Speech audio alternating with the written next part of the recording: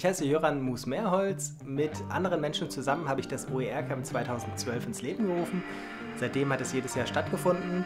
Für 2017 haben wir jetzt die Trägerschaft des OER-Camps in einen gemeinnützigen Verein überführt, der heißt ZLL 21 e.V.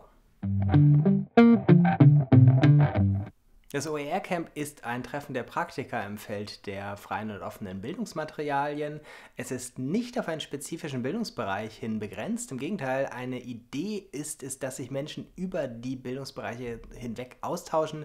Das heißt, es kommen relativ viele Menschen aus den Bereichen Schule, Hochschule, Weiterbildung, aber traditionell gibt es auch einen Schwerpunkt auf sowas wie zum Beispiel politische Bildung oder außerschulische Jugendbildung.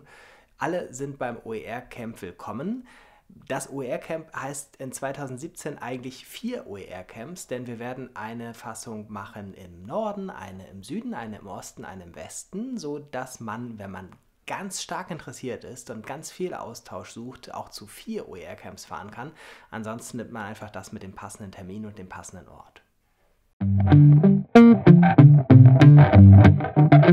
Das OER-Camp findet als zweitägige Veranstaltung statt und die Hälfte davon ganz normal in Anführungszeichen mit Workshops, die vorab geplant sind, wo man also weiß, wenn man sich anmeldet, das wird es da geben. Ich kann mich für folgenden Workshop anmelden und folgenden Workshop besuchen.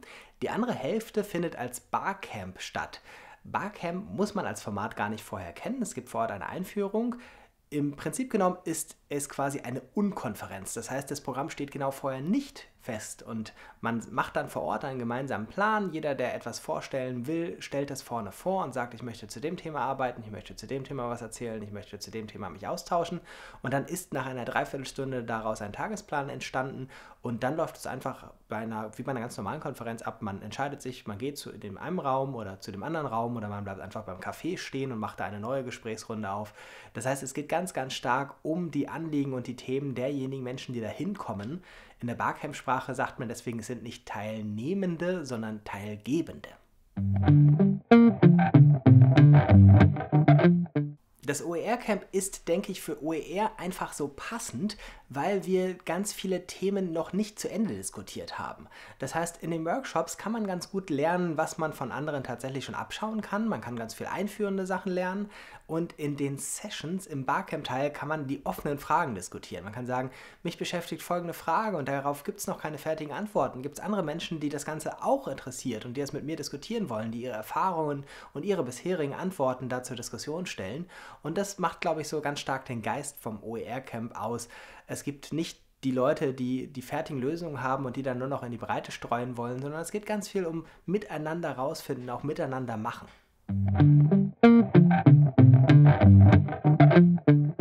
Die vier OER-Camps finden zu vier unterschiedlichen Terminen statt.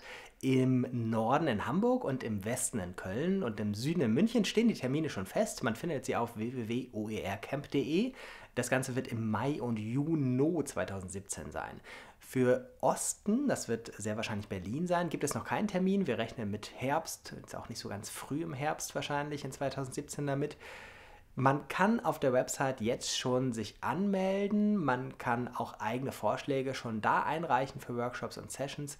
Und ähm, dann wird man einfach weiter von uns informiert, welche Schritte man gehen muss, ob man irgendwas an Vorkenntnissen mitbringen muss, in Klammern nein. Und ähm, dann kommt man einfach dahin, kriegt als erstes mal einen Kaffee und erklärt, wie das Ganze weiter ablaufen wird und dann wird miteinander diskutiert und gearbeitet.